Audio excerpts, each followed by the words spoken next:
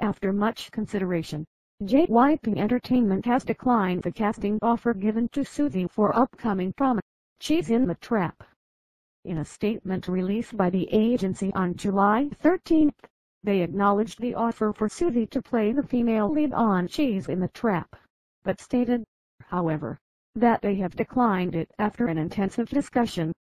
Suzy would have played a role of Hong Seol and be acting alongside confirmed male lead Park Hae-jin, for the popular webtoon of the same title.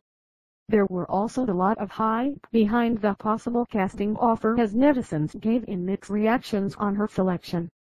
Meanwhile, Cheese in the Trap will be directed by Lee Yoon the same director for Coffee Prince and Heart to Heart, and will air on tvN